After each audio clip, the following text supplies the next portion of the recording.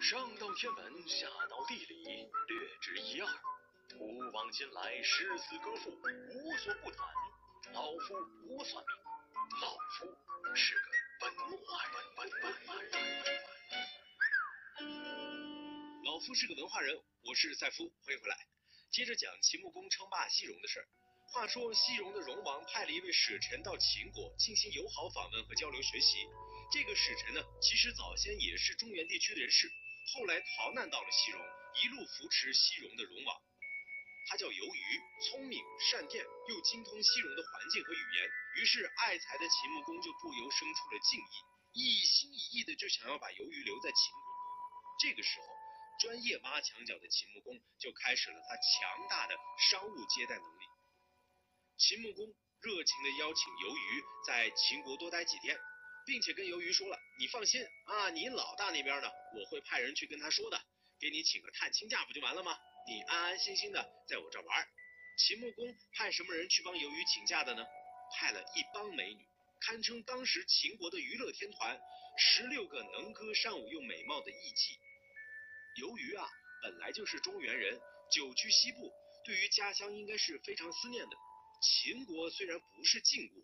但是制度毕竟比较相近，文化也相通，由于就爽快的答应下来了。但是自古以来，探亲假不是你请到了，你就真的可以嗨嗨皮皮的去度假了。等你回去上班见到老板的时候，你就知道了。不过这是后话，咱们一会儿会说的。从那天起啊，秦穆公就天天请鱿鱼吃饭，还特地请他上来呢，跟自己坐到一张席榻上，亲自给鱿鱼夹菜。做人呐，最重要的就是开心，是不是肚子饿了呀？我下面给你吃啊。我撂啥？脑袋长得蚕豆似的。平时秦穆公就虚心的向他请教一些西部的地理形势、民俗民风、武装力量分布等等。由于先生是有问必答，知无不言，主宾甚欢。一时之间呢，由于竟然有一种乐不思蜀的感觉。而等到由于回过神来呢，已经是一年以后，一年了，得走了吧。借着国事访问，又探亲休假，休了一年，不说领导了吧，就说家里的老婆孩子也该发火了吧，说不定还给我添个新的子女也未必呢。别瞎说。由于就特地向秦穆公辞行了，秦穆公也爽快的同意了他。由于就踏上了回国的道路，离别一年时间，多半呢会有一些变化。但是当由于回到国内，却怀疑自己是不是进错国门了，他的国家已经变得面目全非。到处都是牧羊的尸体，这是怎么回事呢？由于大吃一惊，向人打听，才知道自己的部落啊，已经有一年多的时间没有迁徙了。戎人是马背上的民族，逐水草而居，一年不迁徙，那就只有一个结果，坐吃等死。由于连忙跑去见戎王，发现戎王正忙得不亦乐乎，他的身边还有一整编的娱乐团队，这些娱乐团队显然就不是西戎人。而是带着深厚的秦国风采。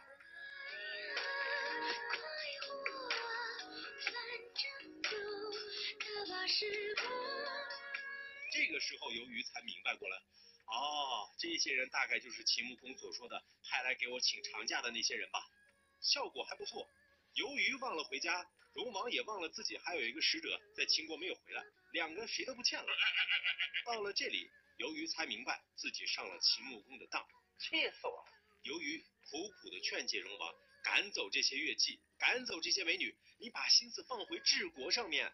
但是从历史经验来看，通常啊，一百个魏征都顶不上一个美女。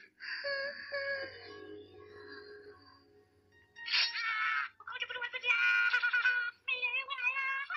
荣王断然拒绝了由于的劝告，表示呢，寡人有疾，寡人好色，寡人就这样，反正你爱咋咋地。而且呢，你这个探亲假休了这么久，我作为领导，我不要面子的。我请你过来，你就休假，工作还怎么做？我是老板，你是老板，你啥意思你啊？你想跟我割包断义是不是？割袍割袍！你现在这个状态，就是想跟我分崩离析。分崩离析，分崩离析！你要干啥？你踢我吧，我求求你了。由于这个时候呢，空有一腔尽忠报国的抱负，但是却没有了施展的机会，不由得心灰意冷。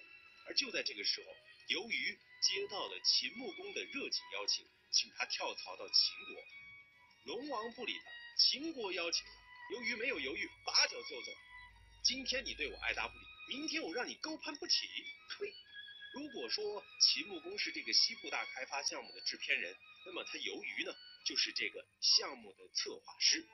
在由于的策划之下，公元前六百二十三年，秦国大举西向，进攻西戎。此战，秦国击败戎王，吞并十二国，开地千里，几乎都没怎么费劲儿。史记里面也都是只是记载了前后才五六年的时间，秦国干掉了多少个国家，秦国的土地增加了一千公里。于是，秦穆公就成为了西戎霸主。所以说啊，如果晋国是中原的霸主，那么秦穆公就是乡村霸主。秦穆公的军事扩张，甚至惊动了当时的中央政府。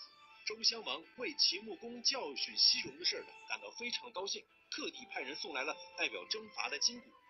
虽然说比不上晋文公当年的待遇，但总算是得到了周王室的认可，以后啊也是奉旨打人了，也算是春秋五霸了。秦穆公的人生至此达到了最顶峰。秦穆公的大半生都在往东部进军，可是付出的努力很多，收获微小；而改变了方向向西部进军之后，却大获成功。这说明了那句老话：努力的方向比努力本身更重要。而在后面呢，秦国正是靠了秦穆公开发的大片西部地区才发展起来的。假如没有关中的大片土地，秦国根本就没有发展的舞台，那就更别谈后面的一统天下了。所以啊。秦穆公的西部大开发项目对于秦国的发展有着非常重大的意义。秦穆公的霸业就跟后面秦孝公时期的商鞅变法是一样的，为秦国后面的统一奠定了基础。秦穆公这个春秋霸主的故事至此已经大结局了。老夫是个文化人，周一至周五每天下午十六点首播，十九点三十分重播。明天咱们开讲战国，我是赛夫，明儿见了您嘞。上到天文，下到地理，略知一二。